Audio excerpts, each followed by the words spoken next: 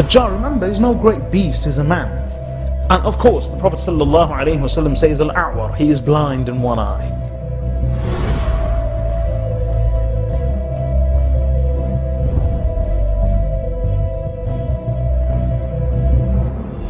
And the Prophet, of course, is telling us what he heard from Tamim Dari, but that agreed with what already he had told the companions. He was with a contingent and they were on a ship. And they were a few days stuck on, in the sea. The waves was tossing them here and there. Until they arrived on an island.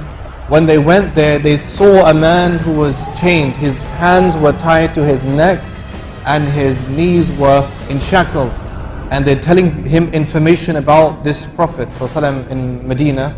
And then he says, it will be better if people accepted him and followed him. As for me, I am the Dajjal and I'm waiting for my appointed time.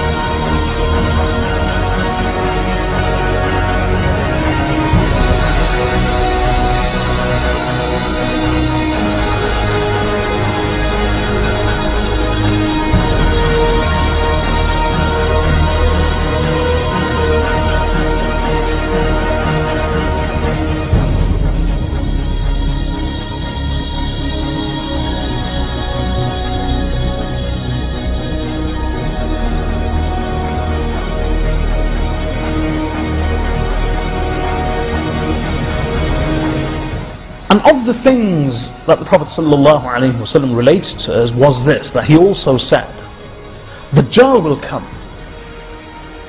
and he will come to Medina, but it will be haram for him to enter the city of Medina, and enter the streets of Medina. So he will be forced to remain outside. So what he will do is that he will camp and settle on some of the salty marshes that will be outside Medina.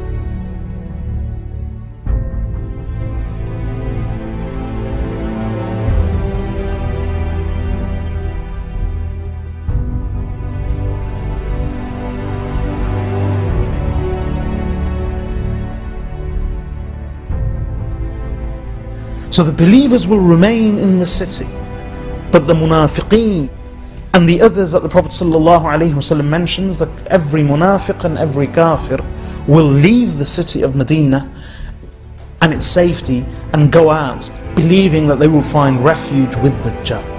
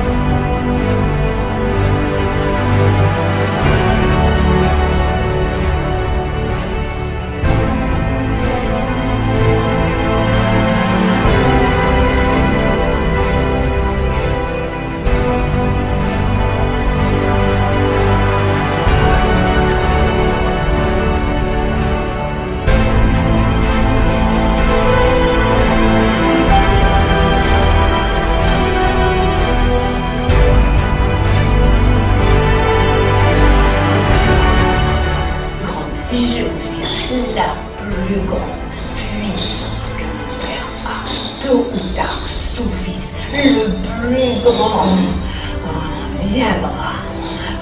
Son fils le plus grand viendra. oui, Tu parles de qui? Dajjal. Dajjal. Oui, Donc les Illuminati préparent Dajjal.